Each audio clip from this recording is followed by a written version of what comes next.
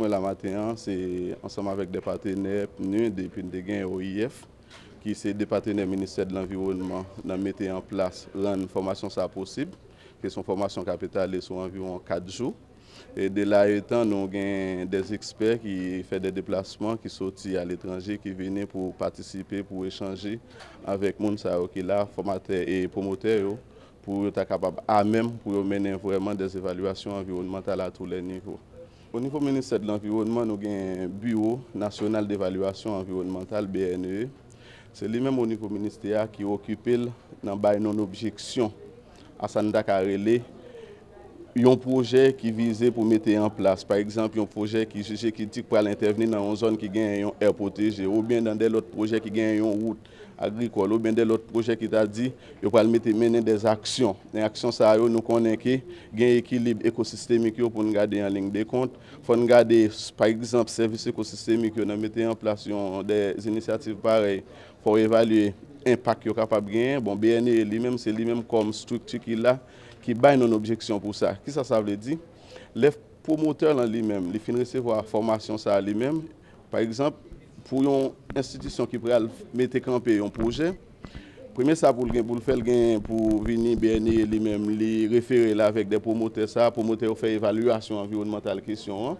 evalüasyon environnemental la fin fèt, epi sou baz etude, rapor d'etude lan, BNI pral juje pertinans li pou l fe evalüasyon, epi pou l di ok, ou gen yon objeksyon pou avansi. Donk apre formasyon sa, se syo ke moun sa wap dot yo de zouti ki pral permette yo vreman mene a bien misyon yo. Nou menm, an tem d'aksyon, d'akompanyman ki kapab fèt ou nivou minister, se pa premi formasyon, mba bon, se son ba a eskali ou bien mda ki diyon prinsip machan avan, Yo te komanse sou de formasyon, sou de tematik bien spesifik, men toujou alè nan ka de evalüasyon environnemental.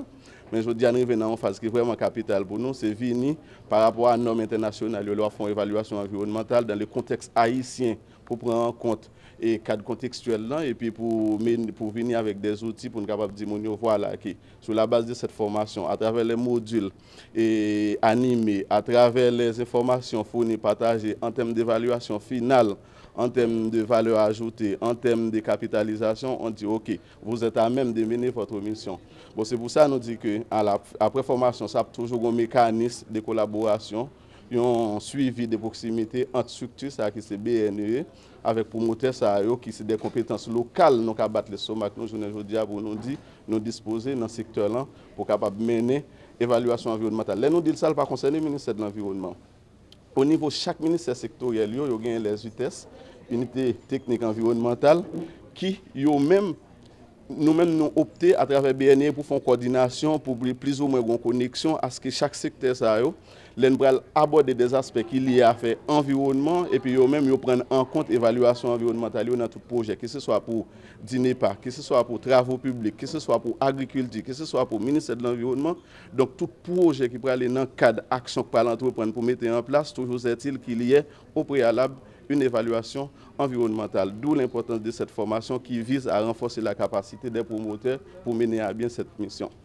Nous accompagnons depuis plusieurs années déjà la mise en place avec nos partenaires que sont le PNUD mais également l'Union Européenne, euh, la mise en place du bureau d'évaluation euh, des politiques publiques environnementales et nous avons un certain nombre d'étapes.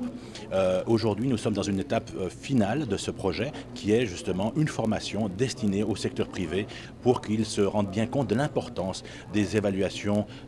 publiques en matière d'environnement. Parce qu'il faut absolument intégrer le secteur public pour qu'il sache d'abord un, qu'il y a des normes, qu'ils intègrent également toutes les spécificités propres à l'évaluation euh, environnementale afin que les différents projets, les différents programmes puissent être mis en œuvre de manière cohérente et surtout en intégrant les spécificités environnementales euh, du pays. Donc un accompagnement euh, au niveau de la formation. Donc nous souhaitons sensibiliser tout le secteur privé sur cette, dimension-là qui nous paraît particulièrement importante. Nous allons